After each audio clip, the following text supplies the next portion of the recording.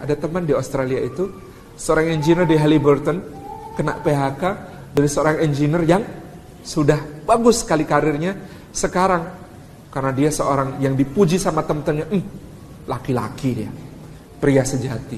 Gak mau nganggur, meskipun tabungannya banyak, dia bekerja. Kerja jadi apa? Pencatat meteran listrik keliling. Itu kalau istrinya komplain, mas, aku kawin sama engineer mas, bukan sama tukang nyatet meteran listrik. Tetapi apa yang dikatakan istrinya, masya Allah, ini karena doa keberkahan. Yang dikatakan istrinya, Masya Allah, saat dulu suami itu karena alasan capek bekerja, kadang-kadang dibangunin kiamul lail susah. Sekarang dia bangun duluan daripada saya. Masya Allah, kata suaminya, dulu saya nggak bisa ngantar anak sekolah, nggak mungkin sempet.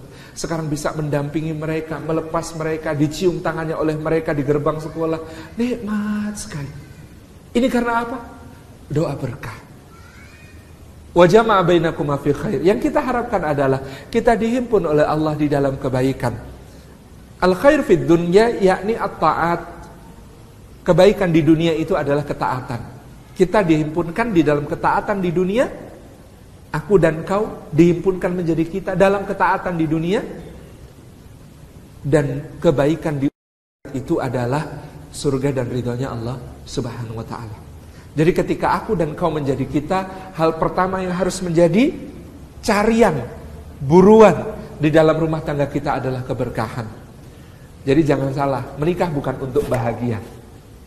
Menikah itu untuk keberkahan kita dunia dan akhirat. Syukran ya Rabbi, syukran. Hadaita qalbi, syukran.